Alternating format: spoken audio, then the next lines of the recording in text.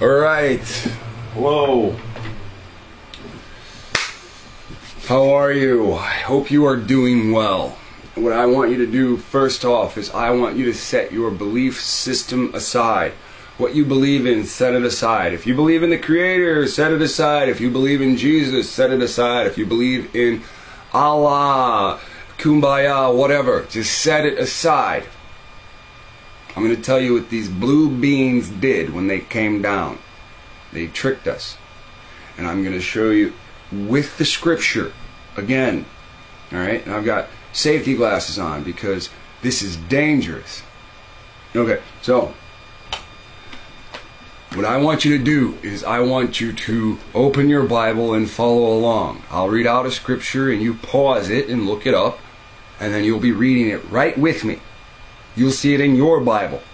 And you'll know the difference between when I'm talking and I'm reading. All right, let's go to Matthew chapter 1, verse 21. And we're going from 21 to 23. Now, where did Jesus come from? Now, it's important to understand that Ptolemy giving the Egyptians and the Hebrews that lived amongst the Egyptians at 300 BC or negative 300, he created Christus, what you call the modern version Christ. So before your your Jesus Christ walked the earth, there was a dummy Christ set up for the Egyptians to worship by Ptolemy. He called it the study of salvation, soteriology. Now, I've made plenty of videos about this. Most of you might have seen those videos, and that's why you're up to this point. Now, here's Vespasian's crack. Now, Vespasian is the emperor. Now, if I rule over there, that's my kingdom. I'm king there. If I beat these people and these people, I then have three kingdoms. I rule over three kingdoms. I have an empire. I am then an emperor. If I expand with those three kingdoms, you get what I'm saying? Right? So, Emperor Vespasian whose son is Titus. Vespasian ruled for 10 years. Vespasian dies. Titus rules for two years and finishes off his father's work, the destruction of Jerusalem, Jerusalem, Jerusalem, however you want to say it. This is actual history. This isn't some bullcrap. Dunk your head in the water. Somebody's going to forgive your sins. This is actual history. Paul, a Hebrew that didn't want to die, was well educated, spoke two languages, well, spoke many languages, says to Vespasian, I'll serve you. Vespasian says, I want you to write it like this. Paul says, okay, I'll do it. That's why the Vespasian's family name is Flavian. Flavian Vespasian. That's why you have Flavian Josephus. That's why you never hear about Flavian Paul. Oh, Paul dies, hung up, or however, when was Peter, whatever. Paul is Vespasian, what we call the Piso family. There's plenty of history to back that up too. It's hard. You'll have to read a long time. And this is where they get there. Now, listen, it's the study of salvation. To trick the slave, you have to trick him into believing his prophecy already happened. Listen, this Matthew 1 and 21. She shall bring forth a son, and thou shalt call his name Jesus. Oh, there's a three there. Oh, what does that say? i.e., Savior. Now, let's go back to the Old Testament. Now we'll just we'll just dance around. Isaiah 43 and 11. Now, this is what the prophet Isaiah says. I, even I, am the Lord. The mouthpiece of the Lord says that this is what the Lord says. I, even I, am the Lord, and beside me is no Savior. Now let's go back to Matthew, because you got to understand this. This is why you believe in Jesus. 22. Matthew 1 and 22. All you got to do is pause it and turn the page.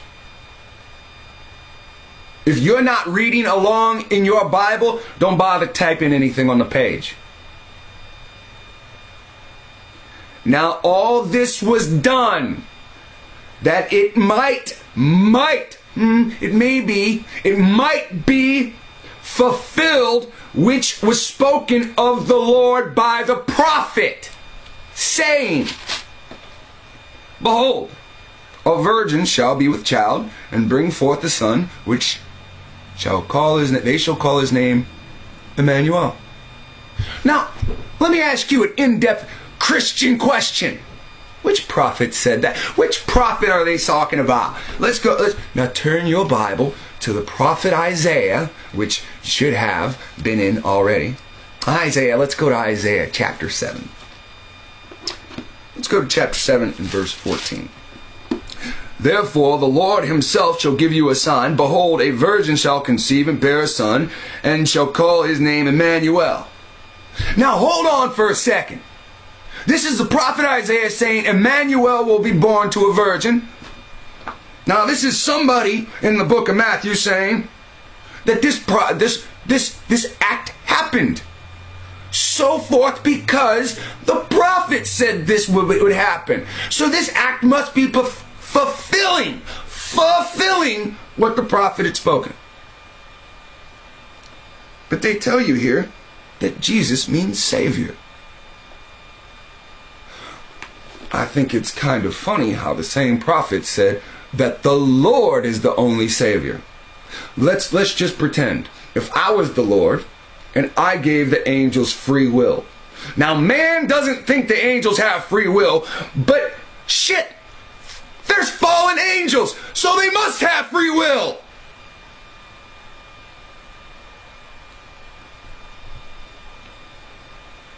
So, Let's pretend I'm God. Am I going to give the power of salvation to one of these angels that can turn? Am I going to give it to a man that somebody can turn away?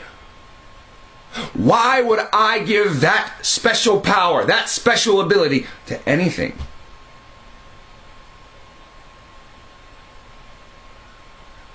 That doesn't make any sense. Any of these people or beings can turn away from me at their own choice.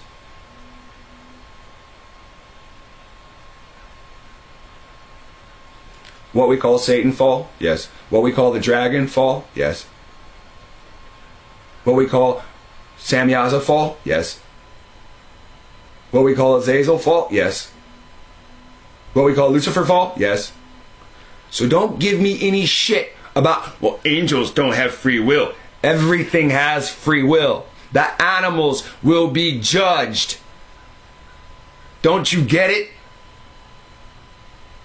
He's looking for a particular set of life that will listen to him wholeheartedly. Like Gabriel, like Michael. Two great examples. So, the prophet Isaiah whom in Matthew they claim to be fulfilling this prophecy by a, a, a, living Savior, the prophet already said the only Savior is He that created us. He that created us already walked the earth in the time of Moses, in the time of Abraham. He didn't, he didn't come out of a vagina then. Why would he do something like that when he constantly tells you nothing created me? Let's pretend I'm God. If I was God and I told you nothing created me and I wanted to come to earth, the last thing I would do is be born. That meant something created him in front of you. Then that would cause confusion. How is logic left? How is logic left the earth? Oh, that's right. That same prophet Isaiah said it's because of the morning star. The morning star fell and tricked the earth. Shall I read that? Let's go to Isaiah 14. See, this is the same prophet that the New Testament deems good. Your prophecy of Jesus is Isaiah's prophecy. Isaiah only says it's a sign. But the New Testament wants you to believe that it's more than a sign. Isaiah 14 and 12. How art thou fallen from heaven, O Lucifer? Who said Lucifer's name isn't in the Bible? Son of the morning, O day star. What does it say? O day star. Or, or O day star. Son of the morning. That means it's a light that shines in light. It's a blinding light. It shines like a star when there's already light. See, we don't see stars because they're still there. We don't see them because the sun's out. The sun's light is so bright it dims the other stars. But the day star is brighter than the sun. Is doesn't Jesus call himself the morning star? And what does the morning star do? Since you're too hard headed to understand the words that are just right here. How art the morning star, how art thou cut down to the ground? This is Jesus. This is your Lucifer your Luciferian doctrine to curve the prayers from heaven.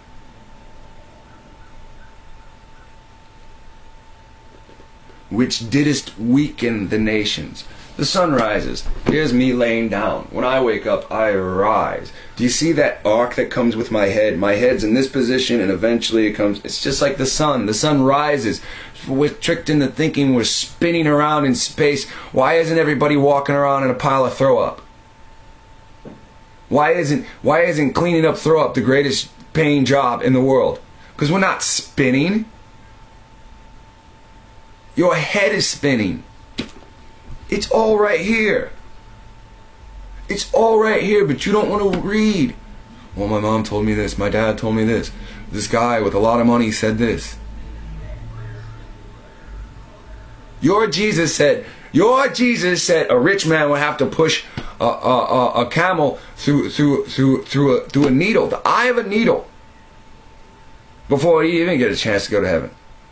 He'd have to give all his stuff away. Look how many rich men preach Jesus. You don't find let we don't even have to bring up God on that level. I mean, what have you guys really done? That is so bad you rape someone, you sleep with your cousin, and you know it was your cousin. Did you create a baby with your cousin, and, and you know later there's going to be some weirds. Listen, did you rob somebody? Did you kill somebody? We all have to face that on Judgment Day. Did you sleep with a man? You're going to have to face that on Judgment Day. Nobody's going to take it away from you. You sleep with a woman? Are you a woman that slept with a woman? Are you a woman that slept with a series of women? Did your brother impregnate you? We'll have to face these things. Did you steal from your parents? And blame it on your brother. Now they hate him and don't talk to him. We'll have to deal with these things. Nobody's going to take these things away from us. These are our burdens. We create wicked acts. We create righteous acts. This Bible tells you over and over again, Israel, or children of the Creator, that you are the Messiahs.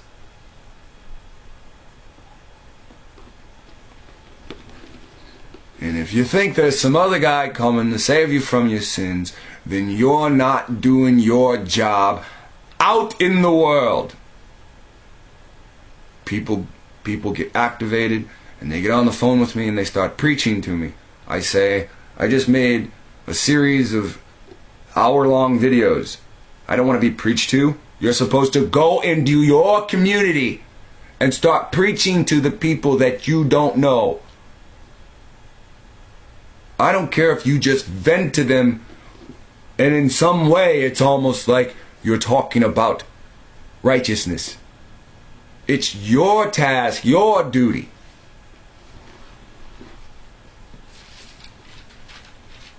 This Christ is Lucifer. Nobody prays to the Creator. Everybody prays to Christ. People that worship Allah know Christ exists. They don't they don't worship the creator. Allah's the moon god. Read sometimes. Yahweh the moon god is Allah. Isaiah 7 and 14. Where does this come from? This is the unification of Pekah, which is the northern kingdom, and Syria, who's controlled by Rezin. Now, when we go deep into history, that's not true. Oh, it is in Scripture, isn't it? Samaria wants to be in Jerusalem. This is the end effect, isn't it? Tiglath-Pileser the third is controlling everything from behind the scenes. Assyria wants unification with Judea to control the temple, so they start with the northern kingdom with agreements to get the city intermingled. When this starts to happen, Pekah wants and Rezin wants to go up against Jerusalem to just take it. But that goes against Tiglath-Pileser's plan. Tiglath-Pileser wants to control it as a finance whole. So what he does is Tiglath-Pileser waits for Jew, the Jews to ask him for help. And that's what's written here to a degree. Now, Asa is the king of Judea. And he prays to the Lord. And it says in verse 11, Isaiah chapter 7, verse 11 Ask thee a sign of the Lord thy God. Ask it either in the depth or in the height above. But Asa said, I will not ask, neither will I tempt the Lord. And he said, Hear ye now, O house of David, is it a small thing for you to weary men? But will it will ye weary my God also? Will you weary your God as you weary men? I said ask for a sign. You won't just give me a sign. So now I'll give you a sign like you've put it. You ever ask somebody a question, they give you a question? That is what's happened. And the Lord has shown his annoyance.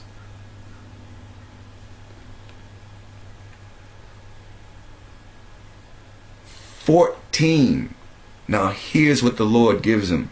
Therefore, the Lord Himself shall give you a sign. It does not mean the Lord's going to come down and be the sign. It says He shall give you the bat signal.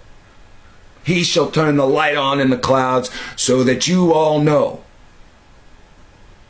And this is what you're not understanding. Behold, a virgin now, if you go into virgin, it does not mean someone that's unplugged. It means someone that's of marrying age. A virgin shall conceive and bear a son, and shall call his name Emmanuel. Now, that is where we get the prophecy from Matthew chapter 1 and 23. From 1 in 22 is the word, the prophet Isaiah being brought up. Without respect for anything else Isaiah says, except for that little clip right there. That's completely taken out of context when you just take 7 and 14 by itself. Therefore, the Lord himself shall give you a sign and be behold, a virgin shall conceive and bear a son and shall call his name Emmanuel. When you translate Emmanuel, it's God with us. That doesn't mean God himself is with you physically. That means God is with the people. This is the time to rise. Your ancestors, my ancestors, were rebels. Rise! They keep telling you it's the Great Rebellion. You go to school, and all you gotta do is show up. That's participation. To rebel, all you gotta do is not show. The frog must leap out of the boiling water. You must stop thinking it's cool. You must realize it's boiling and leap out of the water. We all know that America is the boiling pot. There's no point in leaping to Canada. This Bible says go south. Now, that would be an excellent place to stop, but no. We see in the next chapter, we see a birth happening. And Emmanuel's name is not the name of the baby. So that is not the time for them to rise. Now, the important thing for this conversation is not the name that's birthed, it's the actions that these men did when the baby was being born and named Quick to Plunder in translation, the men didn't stop to record the baby's birth like they were supposed to. They recorded the altar of the destroyed city Damascus. You must understand the laws of an altar to the Creator. You are not to have any hewn, any sketched image. No drawing, no painting, anything on the altar at all. They took an image of another God and placed it on the altar in the house of the Lord, which brought the destruction years later.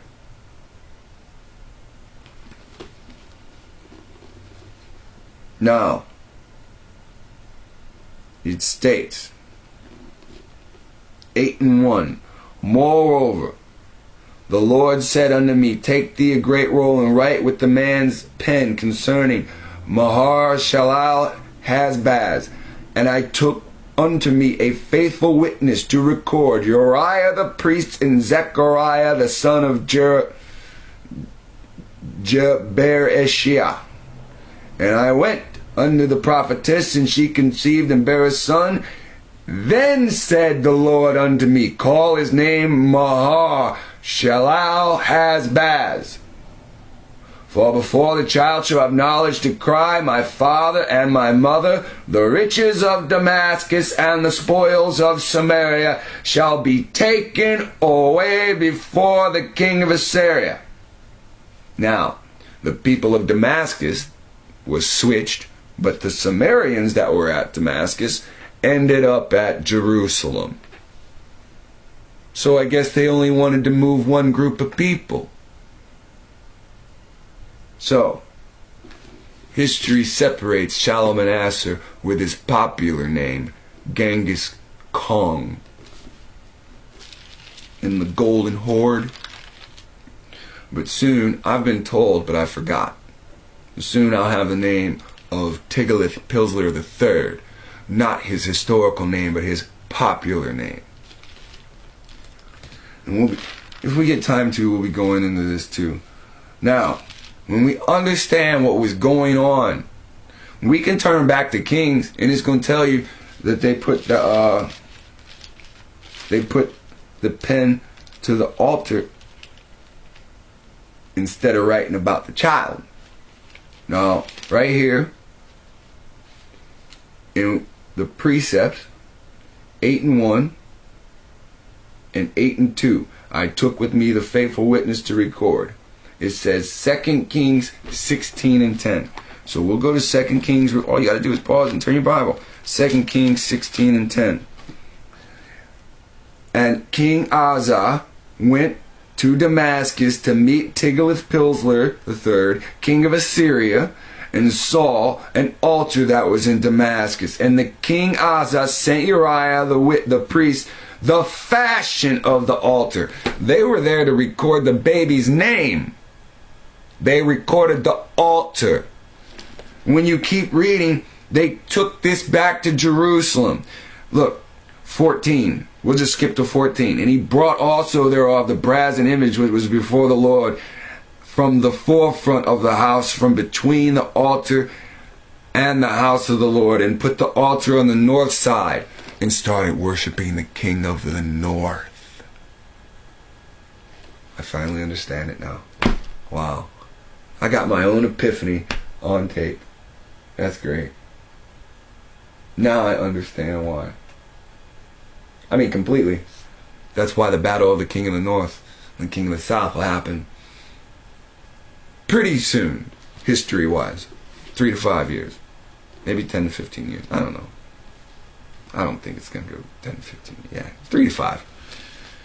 Seems like three to five. Okay, so when we stay in Isaiah chapter 8 and 1, it says, For the name Mahar shall have Hashbaz turn to page Habakkuk 2 and 2, right? It's like, uh, so this is how you do this. So now you go to, now you know the topic. It's about the baby being born, right? The sign, the signal. All right, we see Mahar Shalhalbaz is born, but we don't see Emmanuel, and this is why we're turning the page.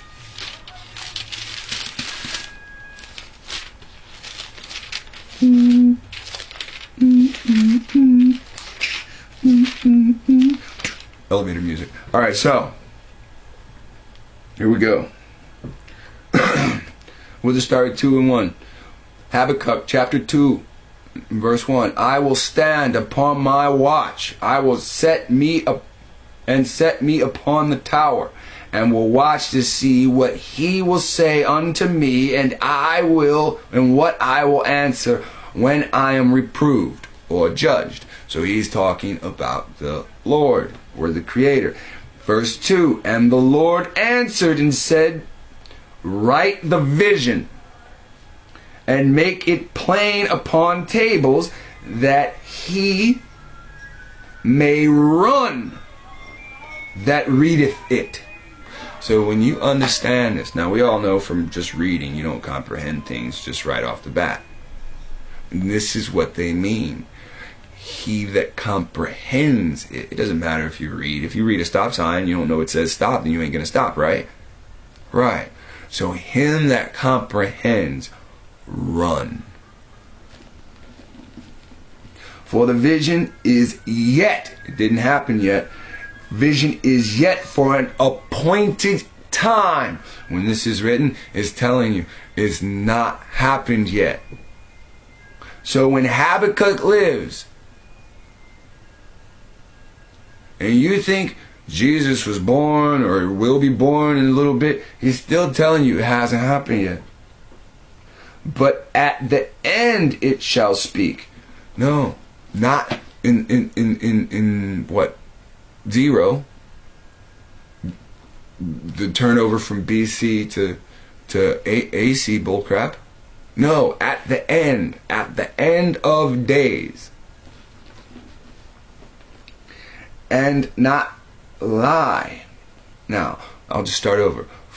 At the end of days, remember, for the vision is yet for an appointed time, but at the end it shall speak and not lie. Though it tarry, wait for it, because it shall surely come. It shall not, excuse me, it will not tarry.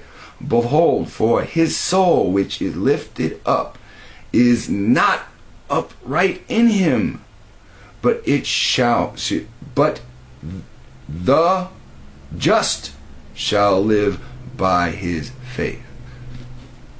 That is a very interesting thing. The just shall live by whose faith? You've got to understand what is going on. This is a prophecy. He also, because he transgresseth by wine, he is a proud man, neither neither keepeth up at home, who enlargeth his desire as hell, and is as death, and cannot be satisfied, but gathereth unto him all nations, and heapeth unto him all people. Shall not all these things take up a parable against him? Wink, who says parables? The Lord's telling you in a poetic way through this prophet Habakkuk. Who says parables? Well, in, in real life, Monobaaz. Mono Zeus. Baal and Zeus in his name. The financier of the rebels at the time when your Jesus would have lived, who was actually James the Just, the righteous teacher, the righteous teacher. Mano Monobaaz was the financier. How do slaves get money? Who says the parable a rich man has to go through a camel? I mean, as, as, as to pass a camel through a needle. Monobaaz actually said this stuff because he did those actions. He depleted his father's hordes. Get it? Genghis Khan and the Golden Horde. Monobaaz, Monobaal, Zeus II, and his hordes depleting.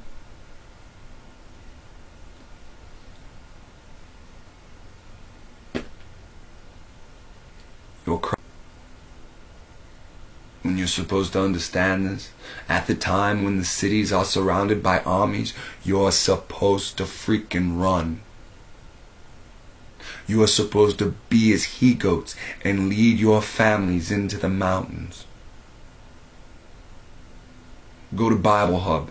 You have your you have your your computer open.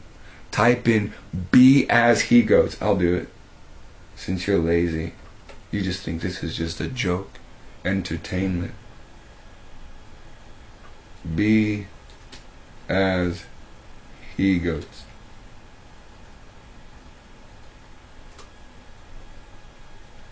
So that takes us to Jeremiah 50. So type in Jeremiah 50. I believe it says 15.8.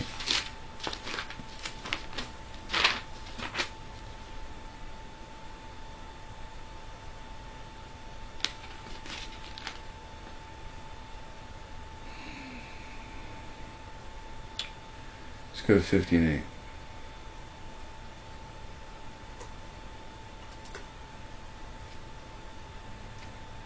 And don't do the gateway. Don't go to Bible Gateway. Go to Bible Hub.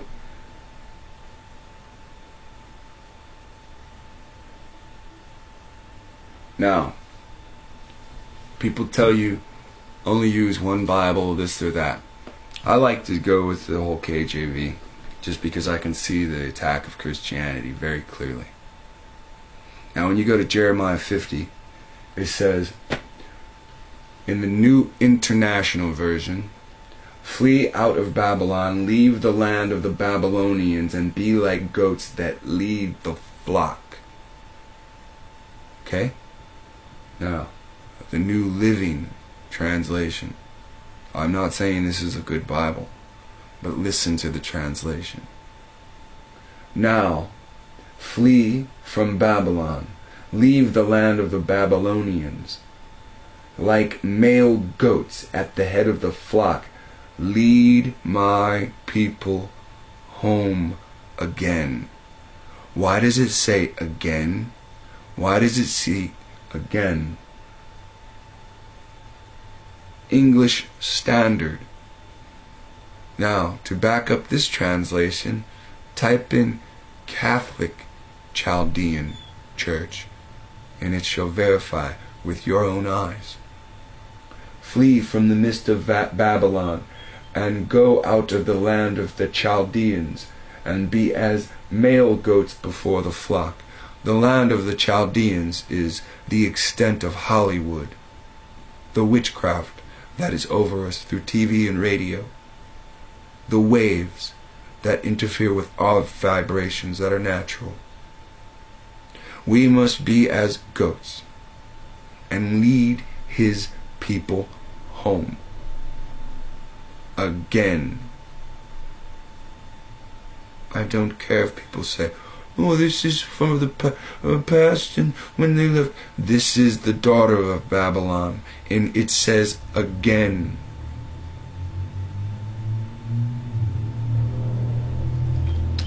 I think you better watch who you let translate your Bible. Because they don't want you to go home. They want you to sit in front of them. Because when you get nabbed and you go out of sight, then they know to be worried. You're a perimeter defense for them because you're poor and Negro. And Canaanites are trying to take your identity, calling themselves Amorite Hebrews. Amorites are Hamites, and Hebrews are Shem. You can't be from two forefathers. Shared heritage makes us Afro Asian, nothing more. We're not cousins, we're not brothers, we're not related. Now, this Bible says we're supposed to leave when the sign of Emmanuel is given.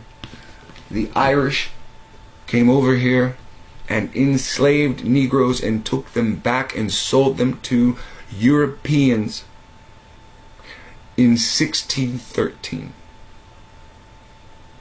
400 years from 1613 is the year 2013. 2013, a child was born. He was named Messiah. He was not named Emmanuel. He was not named Christ. He was named Messiah. There are thousands of children born every year named either Emmanuel, Immanuel, or even Messiah. This is the only one child that the government has attacked within six months of his birth on his name. When we go into this Bible, back to the prophet that tells you all the signs of the time at hand. They state the government shall be on the child's neck. That's how you verify which child is the sign people tell me, well, this rapper had a child named Messiah. Who gives a shit? Some sellout Freemason dances and jiggles his ass for money, named his son Messiah. How long do you think that rapper will wait to encourage his son to have sexual intercourse. He's a rapper. They take pride in, I was nine when I lost my. You want to call that Messiah? You're Babylonian, like he's Babylonian. Like I'm Babylonian as well. But it's putting aside those practices and traditions that we can see what's real. I make these videos so you can have a chance on Judgment Day. Nothing more, nothing less. Nobody gives me money. People have helped me, and they've been very generous. And thank you to those families that let me stay with them in Texas. But that's aside from this.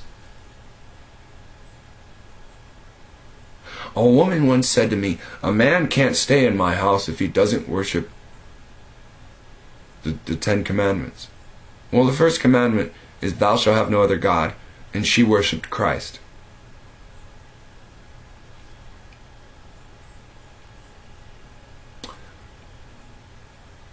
If she can't understand, she's in the same predicament as you that can't understand. Inquisition is accept my God or die. This land was stolen from my forefathers, along with many other generations of people that call themselves black that actually have brown skin. It was stolen in the name of Christ. And now you're upset if I'm not Christian because I don't believe in forgiveness because my God said an eye for an eye. So Christianity is the opposite of what my God says. Christianity is always the opposite of what my God says. Hence, Christians are enemies to my God. My God doesn't say be enemies to them. He says, come out from amongst them. And now we're going to go over some stuff that we have here.